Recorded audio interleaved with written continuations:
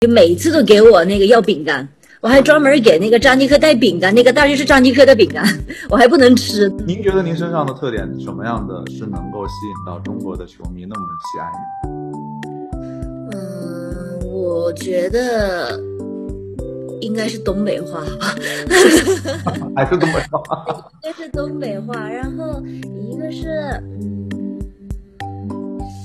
这个有点难，其实。我有点把中国的朋友们当成一个自己的好朋友的感觉吧，就是不管是球迷们，还有选手们，还有包括我的就是中国的选手、对手、教练们，就是大家都把我当成一个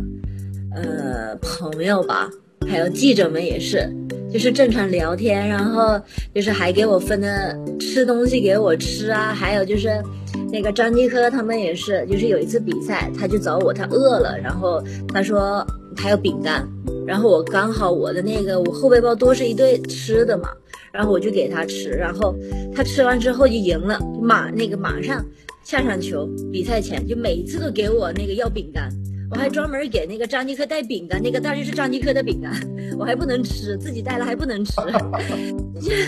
有点像大家都是朋友吧。所以说，就是这样的相处模式，能够让大家得到得到您的就是距离就拉近了，是吧？对，这还爆了不少花絮，嗯，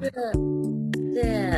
刘主席啊，洪导啊，大家都是没事就在微信上聊天，对，跟文儿啊，对，现在你们还在有联系是吧？还有互动哈？对我那天。就是真的是前两天前前面一个那个微博吧，我发微博，然后那个下边那个球迷给我留言，对，然后刚好头像是那个刘诗文，然后我看到那个头像我就想文了，然后我就马上留言，我看到你头像我就想文，然后马上很多那个刘诗文的粉丝球迷就给我留言，然后我想说这个那个文不会看那个我的留言板，他不可能看啊，嗯，然后我就马。跟他们说，我说好，我马上给你给你们拍完之后给文发过去，然后我就发给文，我说那个你的粉丝想你了啊，你的就是刘诗雯的粉丝要通过您截图发给他，然后说他想，哎呀，